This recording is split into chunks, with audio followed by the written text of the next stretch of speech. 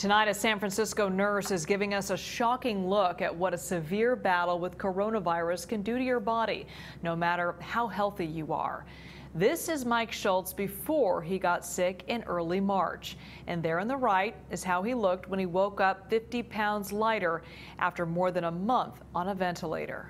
I didn't even recognize myself. Like, I had hair on, like, where I could grow hair, and, uh, you know, they had shaved my beard because they needed to put a tracheos- tracheostomy in, and obviously the weight loss. I felt like I I I, uh, I pretty much cried when I looked in the mirror.